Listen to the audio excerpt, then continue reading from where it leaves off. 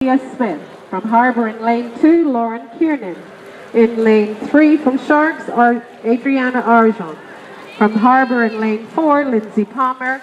And in Harbor lane five, Rose Simmons.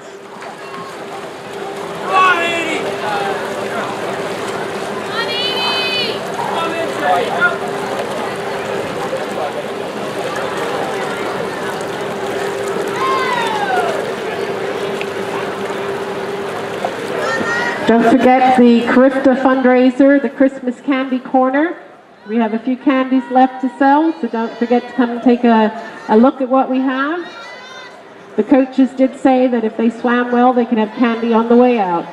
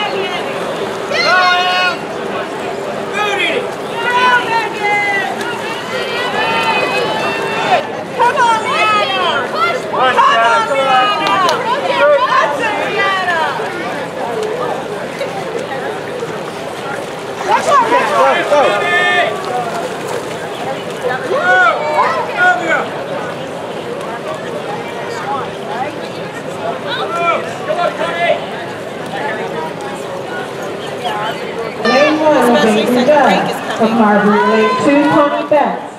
From Dolphins in lane three, Leanna Madeira.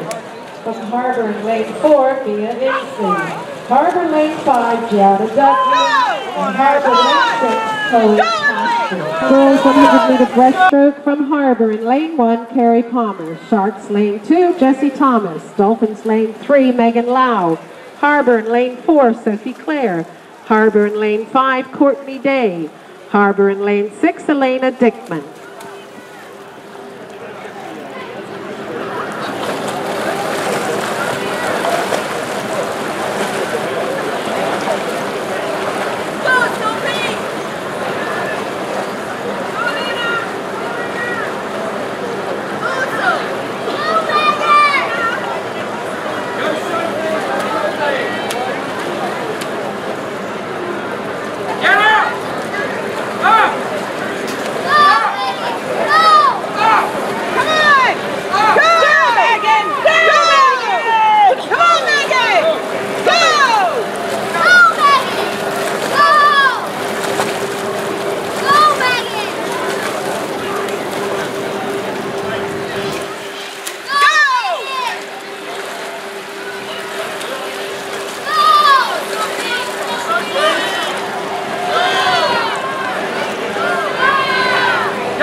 Three.